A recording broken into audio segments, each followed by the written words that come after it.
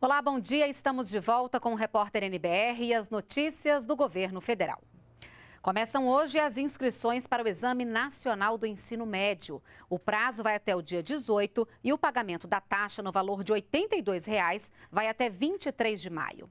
As provas serão nos dias 4 e 11 de novembro, dois domingos, assim como no ano passado. Todas as informações sobre a inscrição do Enem estão em enem.inep.gov.br.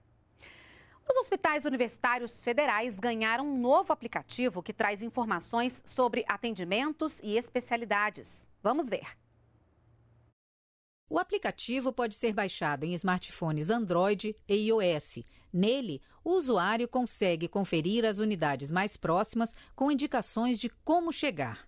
Também é possível solucionar dúvidas, verificar os números de atendimento e conhecer as especialidades oferecidas pelo SUS, Sistema Único de Saúde. Nós vamos agora direto ao Palácio do Planalto conversar com o repórter Ney Pereira sobre a agenda do presidente Michel Temer. Ney, é com você? Oi, Renata. Bom dia a todos. Olha, Renata, o presidente Michel Temer participa em São Paulo, a partir do meio-dia desta segunda-feira, da abertura da APAS Show 2018, que é a maior feira e congresso de supermercadistas do mundo. O evento é uma oportunidade para fornecedores apresentarem novidades, lançarem produtos e também fecharem negócios. Os supermercados cresceram mais de 2% no primeiro trimestre deste ano, o que foi o melhor resultado para o período dos últimos cinco anos. Bom, e por uma rede social, o presidente Michel Temer lembrou que sancionou neste domingo o projeto de lei do governo federal que distribui mais de 4 bilhões de reais para estados e municípios em compensação financeira pela produção de petróleo e gás natural. Segundo o presidente, esse dinheiro vai beneficiar a população brasileira. Também por uma rede social, o presidente falou sobre a sua participação em um programa de políticas do SBT. A entrevista foi exibida na madrugada desta segunda-feira. O Michel, Michel Temer disse que o governo está empenhado em reduzir o preço da gasolina e da energia. O presidente falou também sobre o Produto Interno Bruto, o PIB, e a intervenção federal no Rio de Janeiro. Ainda hoje, a NBR exibe trechos dessa entrevista.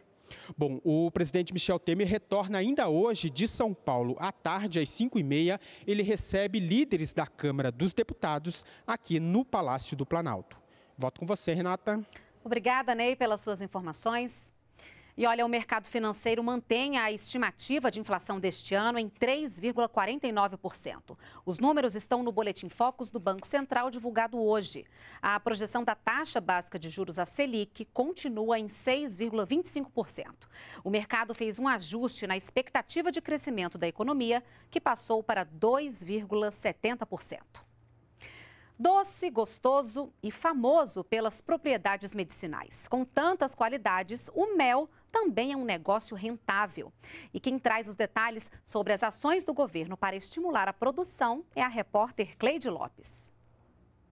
O quilo do mel da abelha sem ferrão, produzido no agreste do Rio Grande do Norte, pode valer até oito vezes mais que outras espécies existentes no Brasil. Este mel é produzido pela abelha jandaíra e tem sido uma das principais fontes econômicas da região. E para estimular ainda mais a produção local, ampliando as oportunidades de emprego e renda, o Ministério da Integração Nacional implantou o primeiro polo do mel de Jandaíra. O projeto conta com mais de 700 colônias. As atividades estão sendo desenvolvidas em nove municípios, onde a maioria das cooperativas de produtores é formada por jovens. A previsão é de que mais de 400 famílias sejam atendidas pela iniciativa.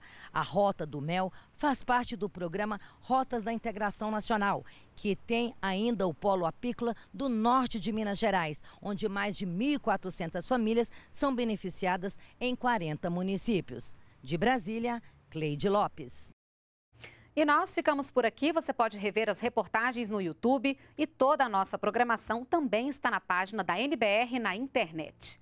Continue com a gente aqui na NBR, a TV do Governo Federal.